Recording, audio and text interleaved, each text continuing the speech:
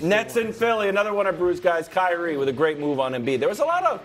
That was incredible. I missed the end of this game. What happened? Watch this move, Nick. Oh, no, no, no. And, this tell, great. Me, and tell me Kyrie can't ball. I never said he can't oh, ball, but bro, what happened? I missed the end. Well, without Kevin Durant, they barely lost to the juggernaut. I think they lost by 11, but it, the, it just. yeah, know. but it was close. You it was close. Game. They had it was a, a close sweep. No, close they had 11. a chance.